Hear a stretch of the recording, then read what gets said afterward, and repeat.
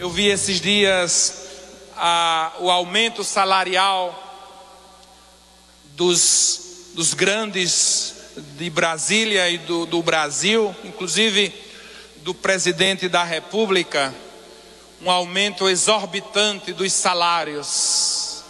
Eu, eu fico admirado com a capacidade do, de alguns grupos e às vezes, infelizmente, do próprio legislativo, que muitas vezes faz leis para favorecer a si mesmo, quando não é possível ter um auxílio emergencial de 600 reais para as famílias pobres, com muito sofrimento, 150 reais para comprar o gás, ou compra o gás, ou comprar a comida, ninguém sabe o que vai escolher.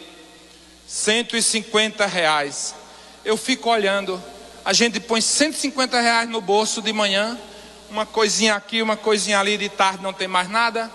Eu fico imaginando uma família com 150 reais para se virar durante um mês, diante do aumento salarial exorbitante dos nossos governantes, dos nossos legisladores, dos nossos ministros da justiça, da turma grande. É muito, é muito, uma disparidade muito grande. A igreja não tem nada a ver com isso. O bispo está se metendo em assunto que não é da sua competência. Eu não penso assim.